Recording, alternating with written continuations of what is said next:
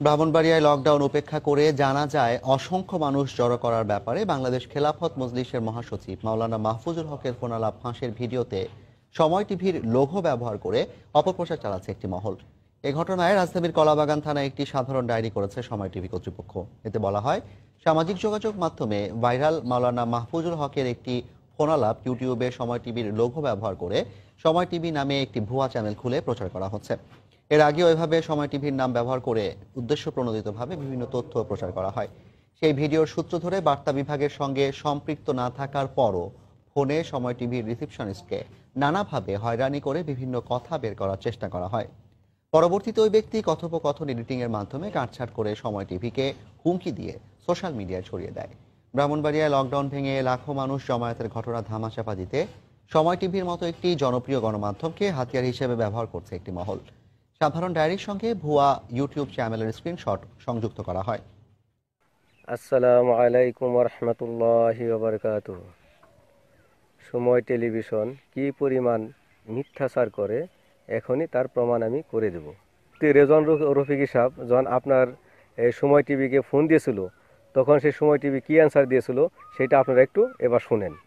মামলা তো করবে কিন্তু আপনাদের হ্যাঁ, আম- আমরা আমরা তো হান্ড্রেড পার্সেন্ট শিওর ওনার কণ্ঠ দেখে আমরা এটা প্রচার করেছি। এখন তারপরে ওনার যদি কোনো সে থাকে উনি এটা আইনি ব্যবস্থা নেই সমস্যা আইনি কন্ঠটা আইনি। কণ্ঠটা ওনার শুনলাম এটা তো ওনার কণ্ঠ না এটা এখন আমরা যদি আপনি- যদি এখন আপনার লোক যদি এখন আপনার আমার ফোনের ফোনের কণ্ঠ যদি বলে যে আপনার কণ্ঠ না সেক্ষেত্রে আমরা কি করতে পারি বলুন? আপনাদের যাচাই বাছাইটা যেভাবে আপনারা করছেন এ ব্যাপারে তো আমি নিশ্চিত যে আপনারা যাচাই বাছাই করেননি কারণ আমরা করেছি। আপনি নিশ্চিত হইলে তো হবে না। না না আমি নিশ্চিত আমি আর শুধু আমি নিশ্চিত না এটা পুরা দেশবাসী নিশ্চিত। তাহলে আপনি টাইম কেন ওয়েস্ট করতেছেন? আপনি তাহলে যান আপনি আইনি ব্যবস্থা নেন আমাদের বিপক্ষে। আমরা তো আর বলি নাই যে না আমরা আপনি আপনি বসে থাকতে পারবেন আপনি কিচ্ছু করতে পারবেন এগুলো তো বলি আচ্ছা, অনেক ওটা খোলা আছে ভাই, অনেক। হবেই আইনি ব্যবস্থা তো হবেই বাকি আমার একটা প্রশ্ন তাহলে আমরা ওইখানে তাহলে আমরা ওইখানে লড়ি। আপনি আমি বলি আমার প্রশ্ন শুধু একটা জায়গায় সেটা হলো একটা মানুষ তার কণ্ঠের সাথে এটা কণ্ঠ নাই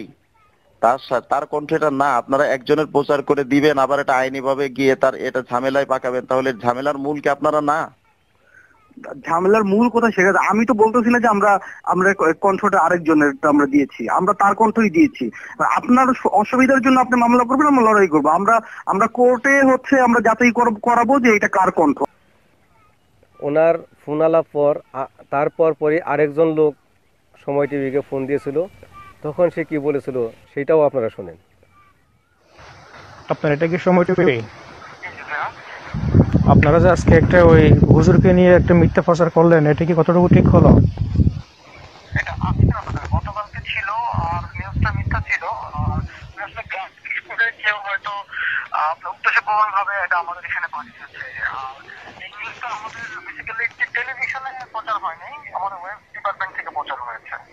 তো আপনারা সাংবাদিক আপনারা আমরা অলরেডি আমরা অলরেডি এটা উইথড্র করে নিচ্ছি জন্য আমরা আন্তরিক দুঃখিত আছি এটা আমাদের উচিত হয়নি ঠিক আছে মানলাম, এটা আপনারা স্বীকার করলেন, ধন্যবাদ।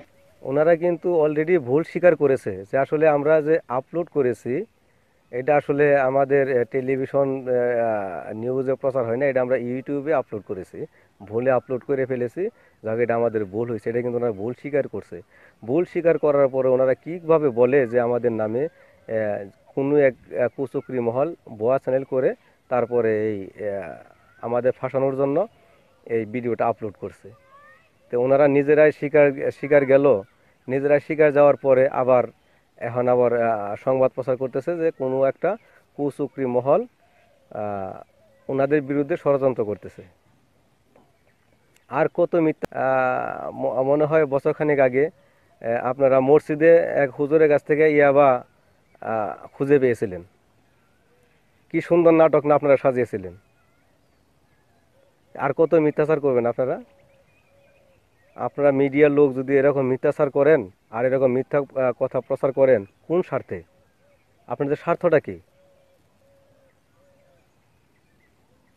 তো যতগুলো সময় টিভির সাবস্ক্রাইবার আছেন, আপনাদের কাছে একটা অনুরোধ আমাদের আপনারা সবাই ওনাদের আনসাবস্ক্রাইব করেন। আর যদি কেউ লাইক করে থাকেন আনলাইক করে দেন ওনাদের টিভির চ্যানেলের সাথে আপনাদের কোনো সংযোগ আপনারা রাখেন না। এটা আমার অনুরোধ। আসসালামু আলাইকুম রহমতুল্লাহ বারকাত দুনিয়া